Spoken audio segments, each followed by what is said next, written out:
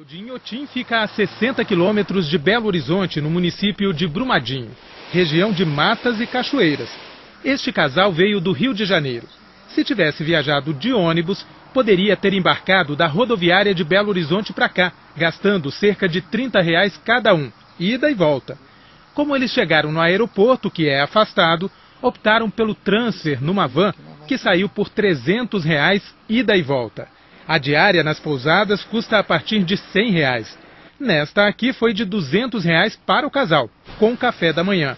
E eles vieram passar o fim de semana. Para poder ter um tempo ali, ali, de contemplação, de entendimento ali das obras e não fazer uma visita corrida né, e desgastante. Né? Acho que dois dias é, é o mínimo. Inhotim só não abre às segundas-feiras. Nos outros dias, abre às nove e meia da manhã e fecha às quatro e meia da tarde durante a semana e às 5 e meia nos fins de semana e feriados. Crianças até 5 anos não pagam. A meia entrada é válida para estudantes identificados e maiores de 60 anos. O preço do ingresso varia dependendo do dia da semana. Sextas, sábados, domingos e feriados, 28 reais. Quartas e quintas, 20 reais. E às terças-feiras, a entrada é grátis. Em Otim, a visitação é um grande passeio. As obras de arte ficam como aquela ali, ao ar livre, no meio da vegetação, mas também em galerias de arte. Um milhão de metros quadrados abertos ao público e cheios de trilhas como esta aqui. Por isso é preciso vir preparado para caminhar. Sapato muito confortável, de preferência, para poder não precisar depender de, de transporte, de nada, porque tem uns lugares ali que você vai andar em cima de pedras, vai ouvir sentir o barulho do cascalho. E tudo isso é muito importante, coisa que você não tem no dia a dia. Mas quem preferir pode pegar o transporte interno que faz viagens regulares até as galerias mais distantes. O custo é de 15 reais por pessoa. Os carrinhos elétricos têm rotas pré-determinadas e horários definidos. É só descer e aguardar o próximo no mesmo lugar. Ana esperou assim, descansando sob uma árvore é muito encantador realmente esse lugar, porque ele é muito selvagem ainda, né? Conseguiram deixar ele assim receptivo para receber as pessoas do mundo inteiro e ao mesmo tempo deixaram uh, o lado selvagem ficar é, em contato com, os, com nós seres humanos. Ah, e pode trazer roupa de banho. Se o dia estiver quente, a piscina, que é uma obra de arte, está aberta ao público. Silvana só refrescou os pés, mas adorou. Entrei porque a gente tem que sentir tudo, né? Porque a arte também acho que é sentir, né? A gente tem que sentir a arte também. E quando a fome incomodar, o museu tem três restaurantes. O mais sofisticado serve um cardápio internacional, à la carte ou self-service, por até 55 reais por pessoa. Mas há também lanchonetes para refeições rápidas, como esta. Preço acessível a todos. O casal que veio de Rondônia já sabe o que vai dizer aos amigos que quiserem visitar em Otim. Que tem que vir cedo, é o melhor para vir, né? Vir com a família, é muito bonito demais, é muito bonito.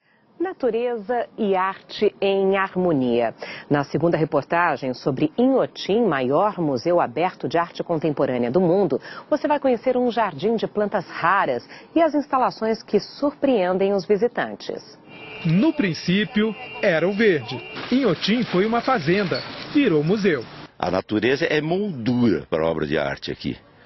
É, é, é um complemento perfeito e harmonioso um passeio tem espelho d'água, você tem um verde, uma montanha, você tem muita coisa muito linda para ver. Está aqui a maior coleção de palmeiras do mundo, 1.500 espécies. Inhotim também é um jardim botânico. Cultiva da exótica e mal cheirosa flor cadáver da Indonésia, que só floresce a cada cinco anos, até a Vitória Régia da Amazônia. Ao lado, uma das menores flores do mundo, a ervilha aquática. Sem contar as surpresas nas trilhas.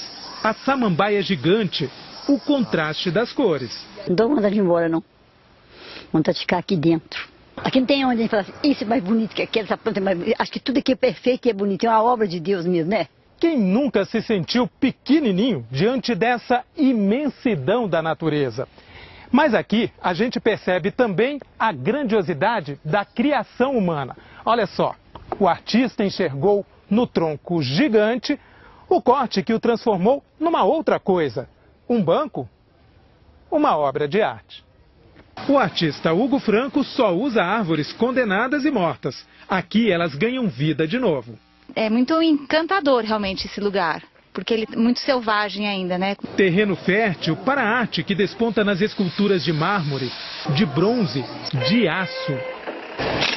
As vigas do americano Chris Burden encontraram o caminho do acaso. Lançadas de um guindaste a 45 metros de altura num tanque de concreto. Como caíram, ficaram. Ah, muito impressionante. Tem muita criatividade quem imaginou ela. Cada uma a seu modo, as esculturas e instalações vão chamando a atenção. Causa um impacto da cor. A cor traz um, dá pra ver lá de longe e falar, uai, o que, que é aquele negócio vermelhinho ali? Vamos lá ver. É a instalação True Rouge, do artista brasileiro Tunga. Dá aquela sensação de bebida, vinho, é, copo, taças, alegria. O que não falta é inspiração. O cubano Diango Hernandes fez da torneira a maçaneta que parece não ter fim. A gente ficou meio assim, é, surpreso, né? A gente achou meio estranho que ela continua depois da, da parede. A tubulação segue através dos cômodos e dos móveis. Eu acho que a artista quis mostrar que tudo tem uma conexão, né? Tudo tá ligado, assim. Já a casinha, original do século XIX, foi preservada por fora. Mas lá dentro. Sabe aquela brincadeira de olhar para o céu e descobrir as formas que as nuvens vão criando? Foi mais ou menos isso que a artista reproduziu aqui. Um espaço para a gente contemplar uma obra de arte que vai mudando a cada instante. Bolinhas de isopor que se movimentam ao sopro de ventiladores formam o céu nublado. Não é óbvio, não, não é óbvio, né? Sempre tem que buscar qual é o objetivo do que foi dito. Resultado de criatividade e técnica. As pinturas de Adriana Varejão parecem azulejos barrocos, antigos. É gesso e tinta óleo sobre tela. E a sala parece continuar neste painel adentro. Você não sabe o que falar. em Otim não explica. Você tem que ver. Muito lindo.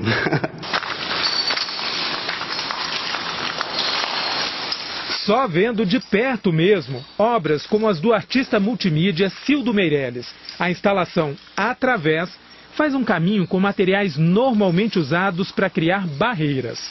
Em pós-guerra, esses é, arames farpados, vidros, cacos, são tudo fragmentos, as coisas se decompondo e se acabando. Nesta outra, a malha de aço sobre bolas remete a imagens de ficção científica.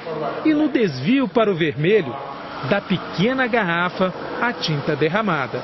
A visão de um mundo monocromático. A arte, ela, ela não tem explicação. É a arte quando você bate o olho e aquilo mexe com, com você internamente, né? É emocionante toda vez que eu venho aqui. Nós preparamos uma reportagem exclusiva que já está na nossa página na internet, com os endereços, os preços e todas as informações para você conhecer Inhotim.